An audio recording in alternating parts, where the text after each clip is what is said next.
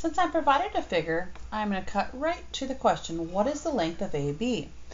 What is this length? Well, I can create a right triangle in this figure. I know this distance can be achieved by knowing the distance from 6 up to 10, which is 4.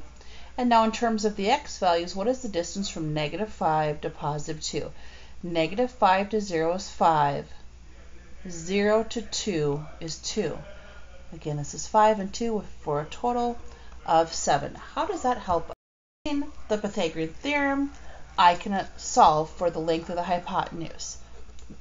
a squared plus b squared equals c squared. 16 plus 49 is 65. And then to isolate the c, I'm going to take the square root of both sides. Correct answer is b.